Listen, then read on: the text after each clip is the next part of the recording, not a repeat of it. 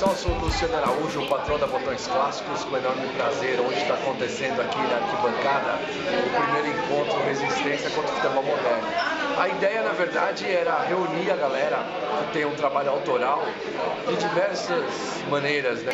A, a ideia, mais do que também mostrar a, o trabalho de cada um, o trabalho independente, muitas vezes artesanal de cada um, é reunir essa galera para a gente conversar sobre futebol, sobre a cultura de arquibancada, sobre o futebol é, que a gente cresceu é, gostando que também está se perdendo muito, principalmente é, com essa modernidade do futebol, né? O estádio está cada vez mais chato. Então,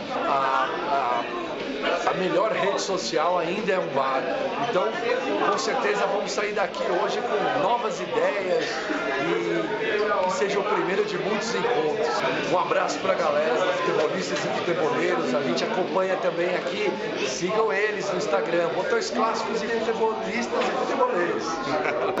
Fala aí, galera. Aqui é o Thiago, o Ramon, dependendo de quem me conhece, né? Estúdio Marrom. Eu conheci aqui um pouquinho do meu trabalho. Aqui eu trabalho muito com pôster.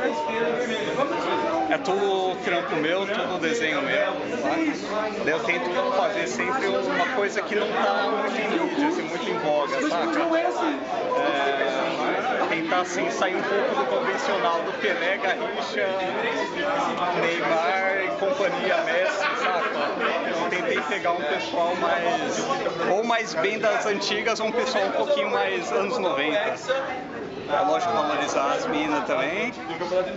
Pegar um pessoal bem old school, bem diferentão e lógico valorizar o pessoal latino também. Né? É legal, hein? Também tem os fenômenos da vida, mas também tem um pessoal que, que geralmente não é dado muito, muito apoio, né?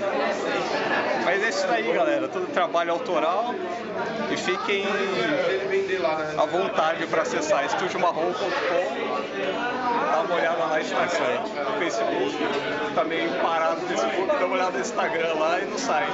Legal, valeu, obrigado. Bem, é, a gente estava conversando, eu, o Pedrão, por intermédio dele, conheci o Carlos da camisa 14.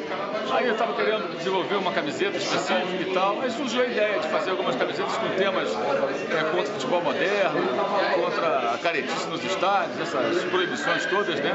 As dificuldades cada vez maior para o torcedor poder torcer. E aí veio a ideia de lançar uma, uma marca é, e a partir daí, quem sabe, uma série de camisetas específicas, né? Aí já tem a primeira ali, com relação aos sinalizadores, né, que muita gente confunde o sinalizador do estádio, que tem um efeito meramente visual, para dar mais vida e, e, e passar, um, digamos assim, uma energia mais é, intensa para o jogo em si é, com aquele artefato naval, o sinalizador que matou o menino lá na Bolívia. São coisas totalmente diferentes. E as pessoas generalizam para poder proibir, proibir, proibir, proibir. Questiona muito isso, critica muito isso. Então, temos essas ideias em comum, resolvemos fazer isso começar esse, esse movimento, digamos assim, a partir dessas, dessas camisetas. Oi, gente, eu sou a Lili, idealizadora da marca Minas Estádio. Essa é a Cris, farsa do crime. A gente tá sempre junto. É, a Minas Estádio é uma marca de moda, futebol, empoderamento feminino. A gente estampa nas camisetas as cores dos times, mas não é só uma camiseta, porque a gente promove é, encontros mensais, né, para chamar mulheres, é, para falar sobre a mulher no futebol, o poder que a gente exerce no futebol, o que é o futebol pra gente, o que ele é pra, pra gente representa no futebol. Pode estar aqui no quadro, no futebol, na quadra, no estádio, falando de futebol, todo mundo, todos os times, raças.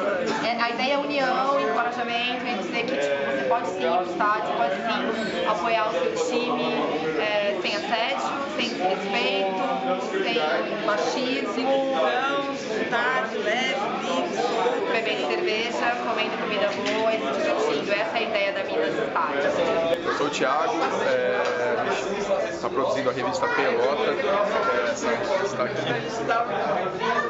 A revista Pelota é uma tentativa de praticar um jornalismo diferente relacionado ao futebol, né? A gente está cansado desse formato de falar quanto é foi o jogo de ontem, é, bastidores de negociações de jogadores e tudo isso que é um pouco chato. E aquele debate insuportável de se foi pênalti ou não foi. E agora ficou mais chato ainda porque agora ainda tem o VAR acertou ou não acertou. Então a gente tenta fazer uma coisa um pouco mais aprofundada nessa primeira edição. Se der pra gente dar uma olhada aqui a gente fala da Islândia do futebol islandês. A gente tem uma matéria sobre o Atlanta de Vila Crespo uma matéria sobre o futebol inglês, sobre o Non-League, que são as divisões inferiores do futebol da Inglaterra. Bom, são muitas coisas e em dezembro a segunda edição está disponível e é isso, a gente conta com a ajuda de quem se interessar por esse outro tipo de futebol para continuar produzindo, para continuar existindo. Legal, e qual o endereço aí pessoal acessar? Acho que o melhor assim, para conhecer a gente talvez seja o Instagram, é, arroba revista Pelota, revista Pelota é muito fácil, é, já é o nome da própria revista, então é só entrar lá, a gente responde muito rápido, quem quiser comprar revista ou colaborar, mandar foto, propor pauta, seja lá o que for, é só trocar ideia, a gente está sempre disponível, a gente responde bem rápido. Cara, a marca é isso, é a camisa 14 por conta desse senhor, esse grande mestre da bola, Johan Cruyff, melhor jogador holandês de sempre.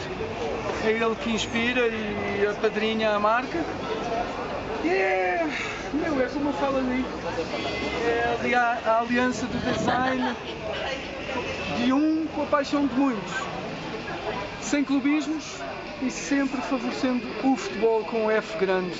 Ou seja, ódio eterno ao futebol moderno, que é só um negócio e uma uniformização dos espíritos e das, e das torcidas, que são coisas em extinção, infelizmente, em qualquer lado do mundo. E aí galera, eu sou Pedro Casal Futebol e agora também com uma novidade aí do drible.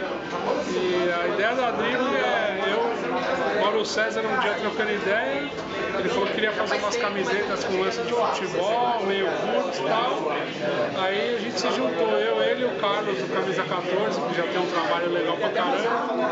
Fizemos uma marca aí que é o Drible Old School Futebol, com a ideia de resgatar isso que a gente gosta, aquela cultura de arquibancada, tal, de torcida.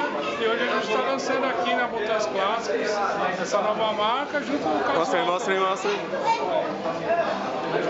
Essa é o logo, essa é a camisa vai ter uma linha com algumas frases do Mauro César e tal. Essa é a primeira. Salve, sou Henrique, do Teóricos do Futebol. Estamos aí. E. Bom, é, na última Copa a gente começou a, a produzir algumas camisetas. Lindas camisetas é, vermelhas e pretas da seleção. Aí veio aquele mimimi de é, faz verde e amarela, faz verde e amarela. A gente fez umas verde e amarelas, entendeu? Com a e o martelo, com a bandeira antifascista, feminista, LGBT, vegana e vários outros modelos que quem acompanha o Teóricos está ciente.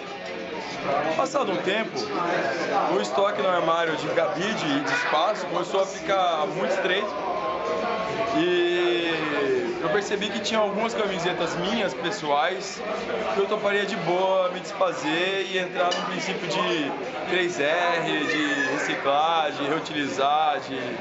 né? Comecei a conversar com alguns amigos, o Vlad, um deles, inclusive. Manda um salve. Salve. e aí a gente começou a perceber, nossa, eu tenho umas 20 e poucas camisas que eu toparia de boa me desfazer, outra, ah, eu tenho mais umas 10, 12. E aí a gente começou com o projeto do Brechute. Então, meu nome é Danilo, eu sou de Osasco, vim aqui pro evento porque conheço aqui uma galera já que, que, que é envolvida né, com futebol, futebol raiz. Conhecer o bar, conhecer aqui a galera que cultua o futebol raiz, né, a fazer esse encontro legal com, com, com a rapaziada, com a, com a mulherada também, a Minas do Estádio também está aqui presente. E acho esses, esses eventos super importantes para poder divulgar cada vez mais a cultura do futebol, mais que nada, né, para a galera que é menos, é, que tem menos condições financeiras, ainda mais com essas questões da, das novas arenas, do futebol moderno e tudo mais. Então, acho que é super importante ter um posicionamento contra isso tudo que acontece dessa higienização dos povos dos estádios. Então, acho que é super importante a gente se envolver. É, se unir cada vez mais para combater esse tipo de coisa, né, cara? Então acho que é super importante cada vez mais esse tipo de evento. Legal, valeu.